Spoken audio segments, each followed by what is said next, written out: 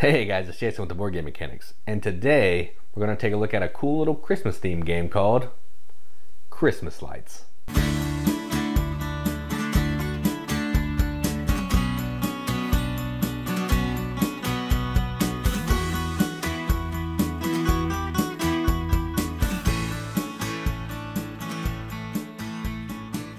Christmas Lights is a two to six player game where players are playing their cards without looking at them, Hanabi style, trying to, you know, have other people give them clues as to what's in their hand to fulfill these patterns that they're trying to get their Christmas light bulbs in. They're going to do that through a few different types of actions each turn, and the first person that complete both of their pattern cards is the winner. That's pretty much the game. Let's go down to the table. Let's see how it plays. Alright, so here's a game of Christmas lights almost all the way set up for three players. So let me go over this setup really quickly. Um, each player is going to be dealt two patterns, which are going to look something like this. It's going to show the way that you want to get your Christmas lights played down in front of you, and it can go either this way or that way. Doesn't matter. Just has to be if you're going to go one way, you have to make sure that you're playing it in the right order. So you have two of those cards.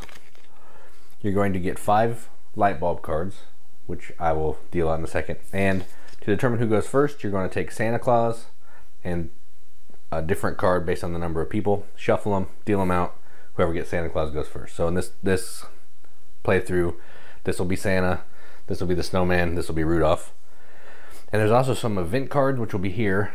There will be some cards in the Christmas lights deck that make you draw those. So yeah, we may have to flip those. So each person is going to get five light bulbs.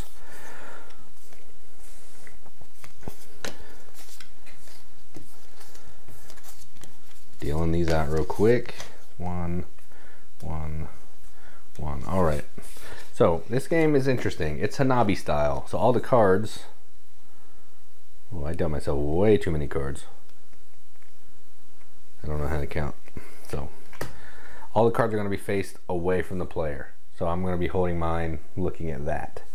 So this is going to be kind of tough to show on this, but we'll make do. So in true fashion, I'm going to be the, the Rudolph player. So I'll be able to see these this player's cards and this player's cards, but not mine. So I'll fan it out and I'll try to simulate not being able to see my cards. So this is how it would look. I can't see mine, but I can see all their all their cards. So starting player is Santa. So let's look and see what kind of patterns he has here. He's got some cool patterns. All right.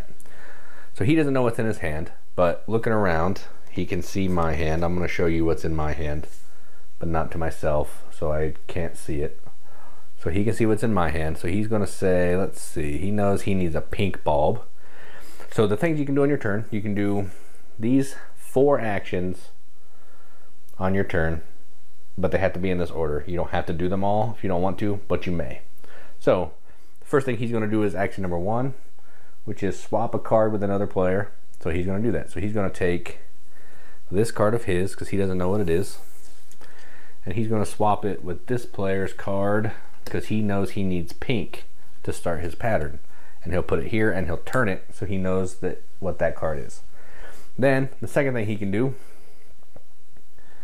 is play a card from his hand into his pattern. So he's going to take this card that he knows what it is, and he's going to play it.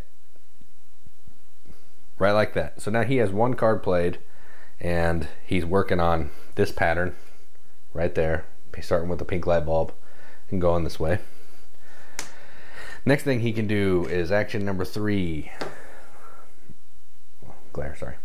So he's going to take a card from the top of the deck and one card from his hand, and he can either trade with a player for information of what's in his hand or play that card into his tableau. So let's show you how that works. So he's to flip a card, green, and then he'll take one from his hand. Let's see. He's going to take this one because he doesn't know what it is. All right, so these are the two cards that are up for offer. He's got a green one and a blue one. He doesn't need anything because the only card he can play next is either a broken bulb, which I'll explain when we get to this player's hand, or red. So this is neither, if you played it into his hand, you had to discard it because you can't play incorrect cards in the pattern, kind of like Hanabi. If you play the wrong card, it's wrong. So he's going to say, hey, I'll give somebody a card that you need if you can give me some information. So this player looks at their hand. They can use the green one. So they'll say, I can use the green one. I'll say, fine, I can use, I'll take the green one. He's like, okay, cool. So he take, I take the green one. The other one's discarded. When you take it, it has to go in your tableau. So now I'm working on this one or this one because they both have green in the starting space. So I'm working on one of these. So I either need a red or a blue to go next. So now he's going to say, do I is, or how many, do I have any red cards? And I would say, you do not have any red cards.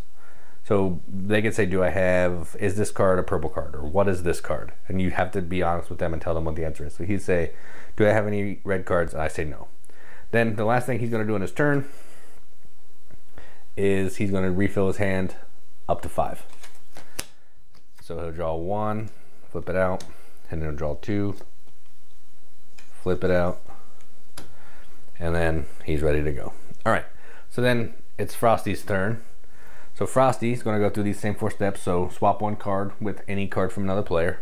So let's see what patterns he's looking at. I'm gonna put these face up so I can see them just for this purpose.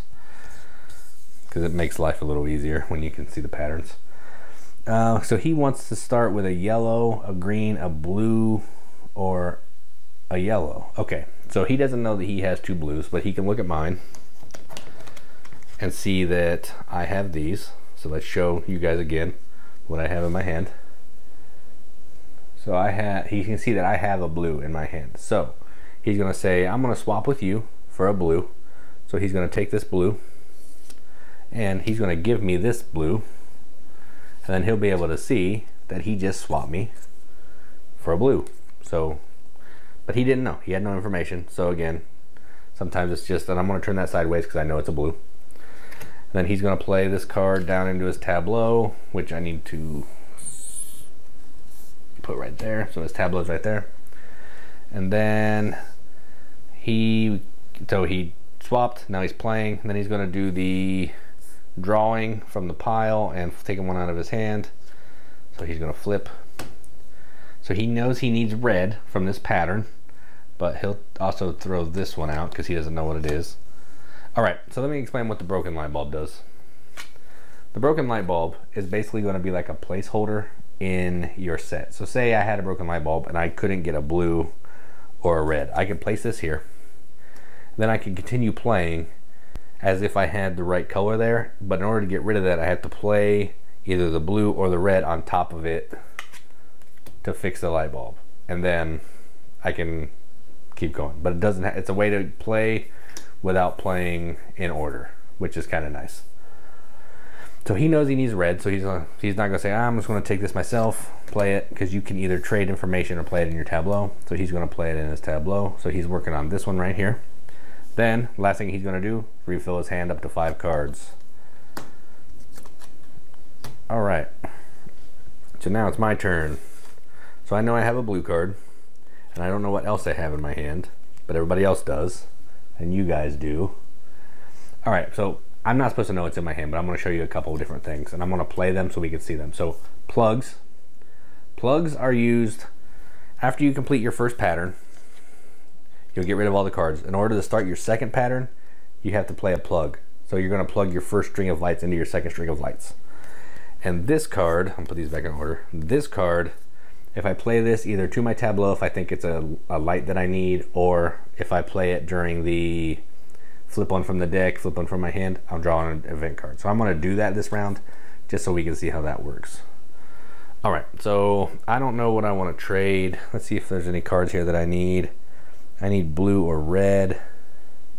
So I know he has a blue, so I'm going to trade with Frosty. I'm going to trade the blue, take the blue, and put it in my hand. Oh wait, I already know I have a blue, so never mind, I'm not gonna do that.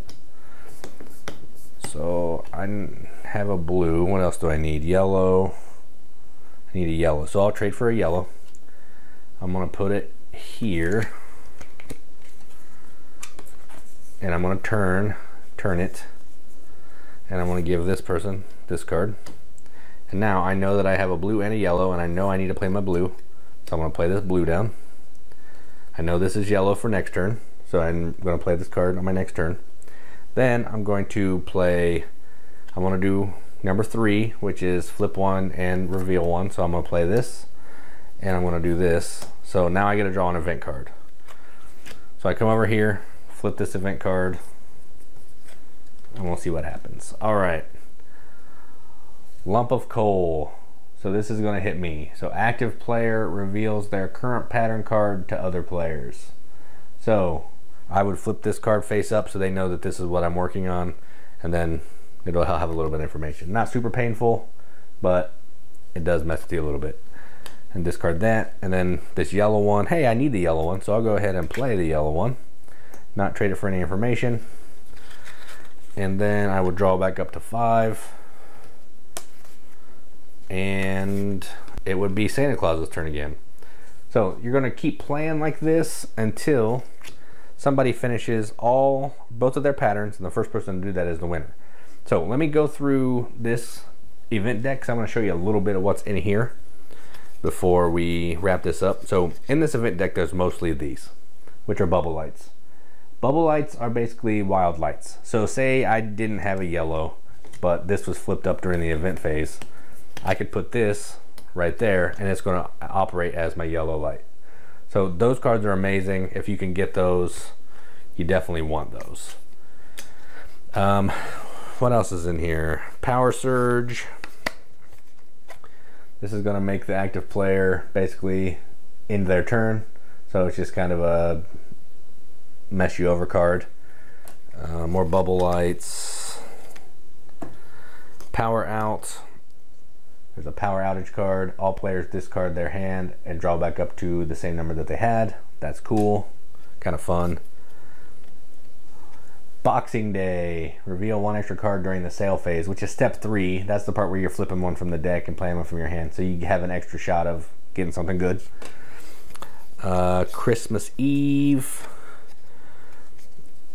All players can look at one card in their hand. That's really nice. It's good to have information in a game when you can't see your cards. Uh, light switch, this one's really obnoxious. So you can pass your cards to the player on your left, and then basically, if you had cards marked, now you got to start over and remember what your opponents have. Then there's lots of bubble lights, just more bubble lights. So that's it. That is how you play Christmas lights. Um, also in the game box, there's another book of bonus games. This is going to show you other games you can play using these cards if you're into it. It's probably, uh, it says there's 11 extra games. So you can just flip through this book and if you get worn out or want to break from playing the regular game, you can dive in here and play some kind of variant with these cards. So that is how you play Christmas lights. Let's go up to the top and see what we think about it. So that was Christmas lights. Uh, let me get started by saying first, I was never a fan of Hanabi.